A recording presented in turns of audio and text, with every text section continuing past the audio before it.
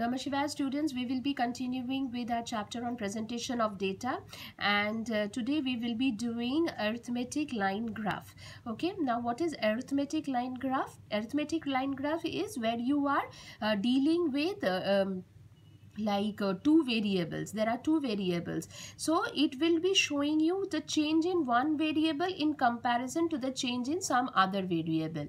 So it involves how many variables? It will be involving two variables. So there will be two variables x and y say for example. Like let's take examples of like price and demand price and demand. Now what happens? When the uh, price increases then the uh, uh, suppose of a, of a particular commodity if the price will increase then what happens? Its demand will decrease and when its price decreases the demand increases. So what we find here is that there are two variables. That is one is price and another is demand. But who is the independent variable? The independent variable is price. That is and the dependent variable is demand. Why demand is dependent variable? Because due to to the change in the price there is a change in demand. So due to the change in the price there is a change in demand. So we will be calling demand is dependent on whom? The demand is dependent on price. So here price will be the independent variable and demand will be the um, uh, sorry price is the independent variable and demand is the dependent variable. So arithmetic line graph will show you changes of one variable in comparison to the other. Now formats of line graph what you have just check this formats of line graph there is basically the line graph you construct it in uh, uh, this uh, graph paper and you have the x and the y axis. Now this is the x axis and this is the y axis this is uh, this is x x and this is y y.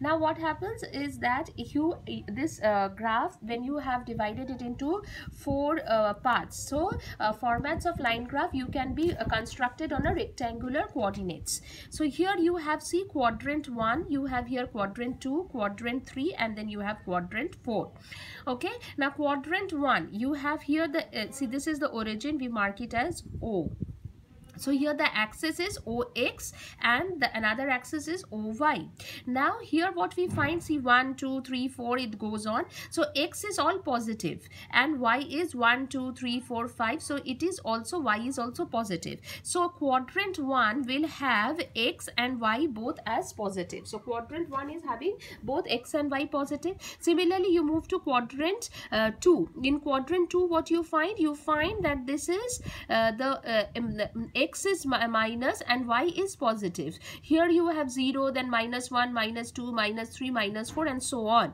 And but the y is positive here so here you have what? You have the x as negative and y as positive in the second quadrant. So here one of the variables is negative and another is positive. Next moving on to quadrant 3. Quadrant 3 what we find? See again the x remains negative and y also remains, uh, y is also negative. So here x is also negative, y is also negative. So here both the variables will be negative. Coming to the quadrant 4 what we find in the quadrant 4 is x is positive y is negative. So x will be positive and y is negative here. So this is uh, the variable x is obviously 1 2 3 4 so it is positive y is in the minus 1 minus 2 minus 3 it's negative. So this is the four about the four quadrants that you have. So you will be representing the two variables. Mainly we use this quadrant 1 to represent the relation between two variables. That is what happens if one of the variable changes and what happens to the other variable? That is if the variable x changes then what happens to the variable y so this is uh, mainly we use this quadrant that is the quadrant number one.